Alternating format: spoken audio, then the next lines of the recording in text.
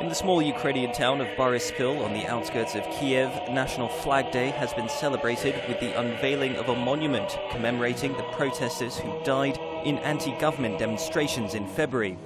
The inauguration ceremony was led by Kiev's mayor Vitali Klitschko and attracted hundreds of people.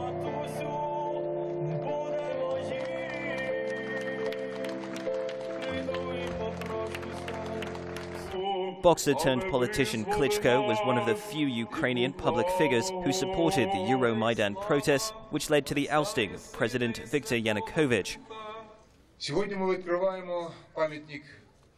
Today, he said, we open a monument to the patriots who gave their lives for Ukraine, for a Ukraine which will be better and more European.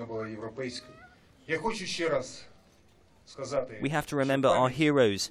As long as we honor and remember them, we can keep them alive in our memories. The monument is dedicated to the more than 100 protesters known as the Heavenly Hundred who died from sniper fire on Kiev's central square, the Maidan, in February.